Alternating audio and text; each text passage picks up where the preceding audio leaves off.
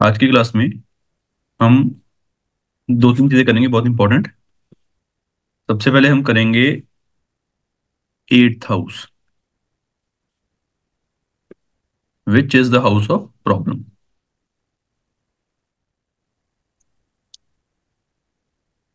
तो इसमें हमने दो तीन चीज़ें देखनी है। सबसे पहले हम निकालेंगे एट्थ का cuspal sub lord and significators of eighth house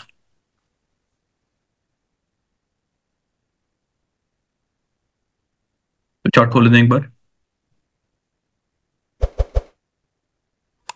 और आज इंडिपेंडेंट हाउसेस और टेनेंटेड अनटेनेंटेड हाउस भी करेंगे। टेनेंटेड एंड टेनेंट्स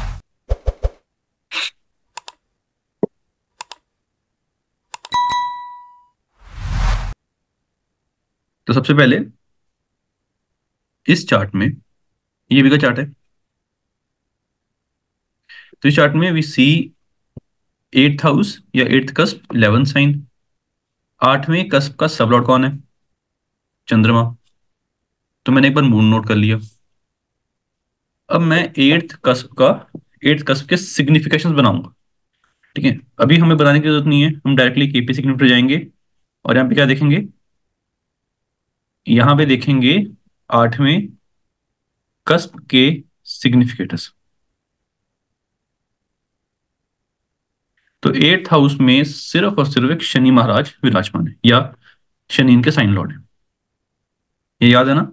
साइन लॉर्ड इस, इस साइन लॉर्ड के किसी स्टार में कोई प्लैनेट इसमें कोई बैठा है कोई प्लैनेट और वो कोई प्लैनेट बैठा है उसके स्टार में कोई प्लैनेट ये हमें पता है। We done this how to make the table तो यहाँ पे मैंने क्या देखा? आठवें कस्प में शनि एक ऐसे प्लैनेट हैं जो आ रहे हैं। तो मैंने क्या क्या नोट करा? मैंने नोट करा मून और शनि।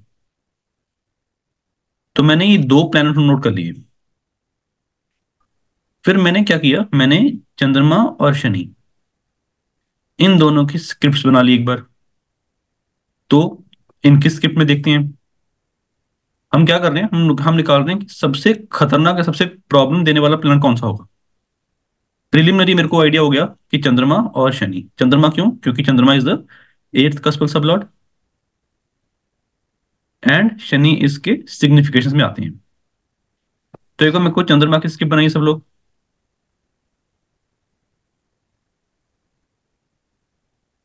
अभी प्रॉमिस नहीं देख रहे, हम स्क्रिप्ट देख रहे हैं।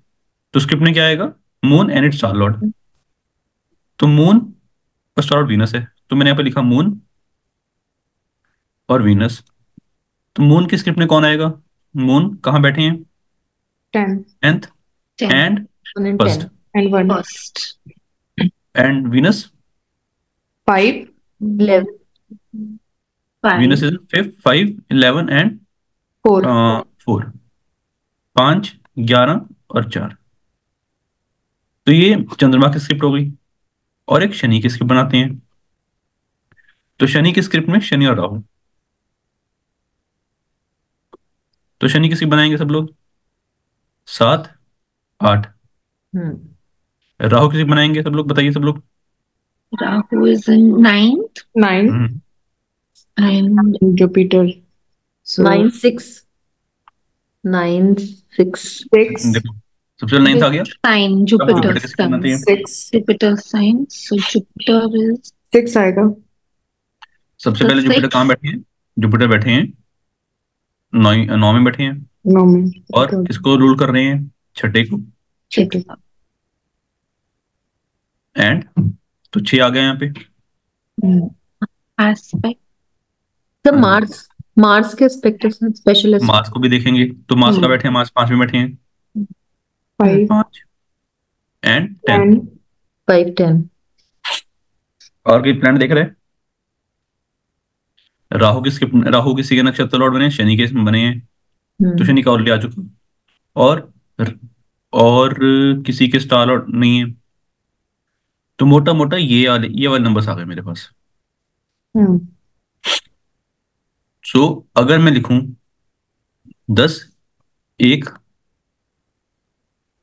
दस एक पाँच ग्यारह चार सात आठ नौ छ पाँच एक दस। नौ छ पाँच और दस। तो these are houses or these are the s- areas where these two planets will be causing the problem when? जब इनका टाइम आएगा। तो इसका क्या मतलब है? कि मून और शनि के समय में, इन पर्टिकुलर एरियाज़ में ज़्यादा प्रॉब्लम रहेगी। तो अगर मैं बोलूँ, चंद्रमा के समय में एक ऐसा एरिया बताइए जो सबसे ज़्यादा ट्रबल रहेगा ट्रबल में रहेगा। सर प्रोफेशन नहीं सबसे ज़्यादा एक एक ऐसा एरिया मैरिज नहीं। मैरिज को बोला आपने? तो सेवन आया ना? सेवन कहाँ पे आया चंद्रमा में? नहीं okay Saturn sorry right sir फिर तो सेल्फ को होगा। सबसे ज़्यादा प्रॉब्लम होगी पाँच नंबर में। बिकॉज़ फोर का नेगेशन है सर फोर से नहीं नहीं.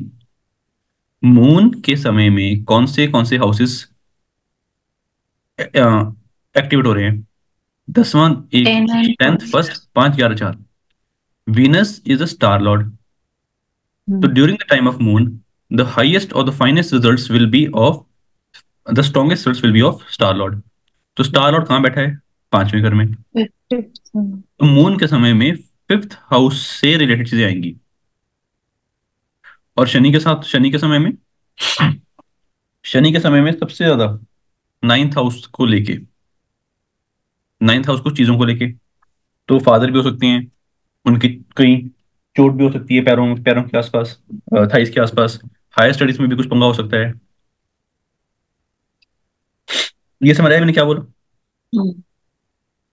अब इसमें. It's the nine because Rahu is sitting in the ninth house, right? हाँ। का ये ये है give the result first of where its nakshatra lord is class KP का सबसे क्लासिक थ्योरम है planet will give its result first and foremostly where its nakshatra lord is sitting